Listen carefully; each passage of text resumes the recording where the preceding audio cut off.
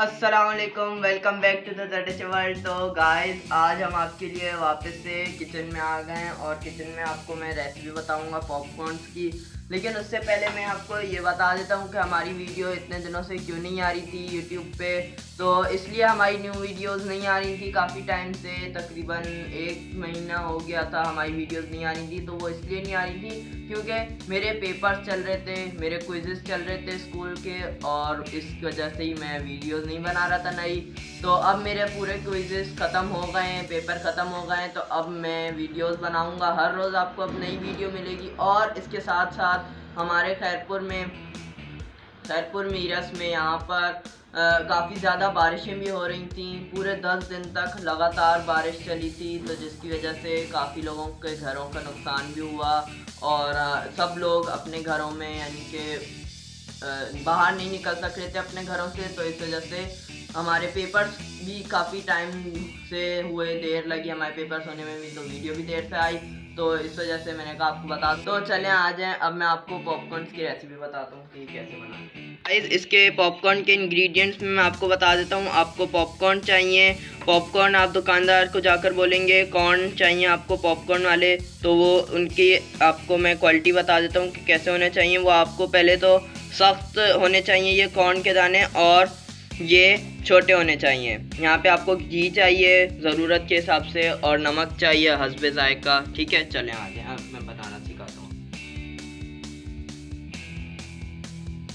तो गाइस यहाँ पर आपको पहले तो एक बड़ा बर्तन चाहिए, क्योंकि हमारे कॉर्न ज़्यादा हैं पॉपकॉर्न ज़्यादा हैं तो आपको एक बड़ा बर्तन चाहिए, खुला के बर्तन चाहिए और आपकी जो फ्लेम होनी चाहिए, वो मीडियम टू हाई होनी चाहिए। मीडियम टू हाई फ्लेम पे हम इनको बनाएँगे और पहले अब इसको गर्म होने देते हैं और अपना घी डालते हैं। इसके अंदर घी मैं आपको बताता हूँ कितना डालें तो गाइस आपको घी डालना है दो टेबल स्पून इसके अंदर।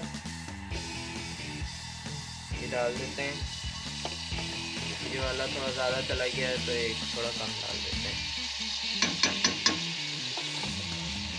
ये डाल देने के बाद हमें इसके अंदर डालना है नमक। नमक हमें चाहिए half teaspoon half teaspoon इसके अंदर नमक डाल देंगे और इसको थोड़ा सा मिक्स कर लेंगे। ये देखें, इस तरह से हम इसको मिक्स कर लेंगे और फिर इसके अंदर क्योंकि ये देखें, गर्म हो चुका है तो इसके अंदर अपने कॉर्न सारे डाल देंगे। कॉर्न डाल देने के बाद इसको वापस से मिक्स कर लेंगे ताकि कॉर्न के हर दाने के ऊपर घी जो है वो अच्छे से लग जाए। आप घी के साथ साथ ऑयल भी डाल सकते हैं अगर आपके पास घी नहीं है तो। मैंने घी का इस्तेमाल किया है क्योंकि घी से फ्लेवर अच्छा आता है।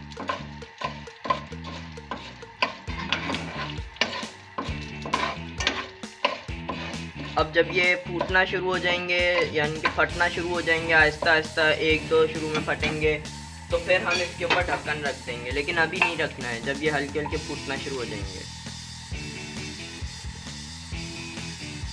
मैं आपको बता दूँ कि ये सिर्फ़ मैं फिफ्टी रुपीज़ के लेकर आया था मार्केट से।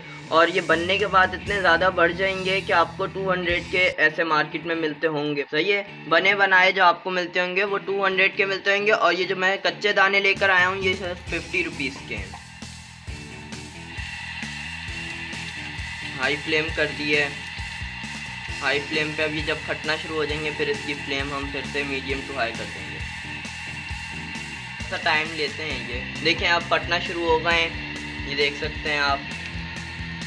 इसी तरह अब ये सारे फटेंगे तो अब इसको हम ढक देते हैं ताकि ये बाहर ना निकले। और इसकी फ्लेम हम वापस से मीडियम टू हाई कर देते हैं। तो देखें गाइस ये अब बन रहे हैं। इनकी आवाज़ आ रही है। इस तरह से आवाज़ आनी चाहिए आपकी भी आपकी भी पॉपकॉर्नस की। तो इस तरह से अब ये बनेंगे। तो आपको थोड़ी देर वेट करना है।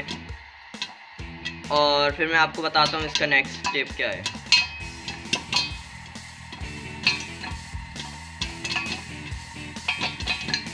तो गाइस यहाँ पर ये अभी बन तो रहे हैं, लेकिन इसके साथ ही इसको हम हिला देंगे। इस तरह से ताकि सब दाने इसके अंदर बन जाएँ और तैयार हो जाएँ। ये मैंने आपकी, आपको अपनी तरफ़ से और एक बेहतरीन स्टेप बताया है। यहाँ पर अभी पॉपकॉर्न की आवाज़ आना ख़त्म हो गई है तो हम फ्लेम बंद कर देंगे अपनी और बिस्मिल्लाह करके इसको चेक करेंगे। ये देखें, माशाल्लाह, कितने अच्छे, बेहतरीन हमारे पॉपकॉर्न तैयार हो गए अभी भी थोड़े थोड़े फूट रहे हैं, इससे आपको डरना नहीं है, लेकिन तैयार हो गए हैं मैक्सिमम हमारे। तो अब इसको डिश आउट करता हूँ मैं और फिर आपको दिखाते हैं लास्ट में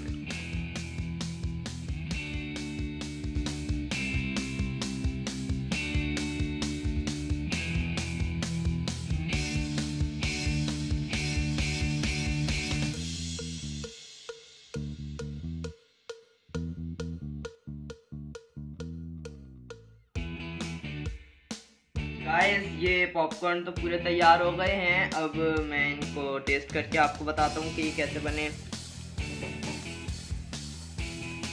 हम्म बने बहुत और टेस्टी हैं। आप ऐसे पॉपकॉर्न घर में आसानी से बना सकते हैं, क्योंकि बनाना बहुत इजी होता है। आप फिर इनको टी टाइम में खाएँ, अपनी फैमिली के साथ खाएँ, बहुत मज़ा आता है। मूवी देखते हुए खाएँ तो फिर तो बहुत ही मज़ा आ जाएगा। हम्म। मेरा तो हाथ नहीं रुक रहा?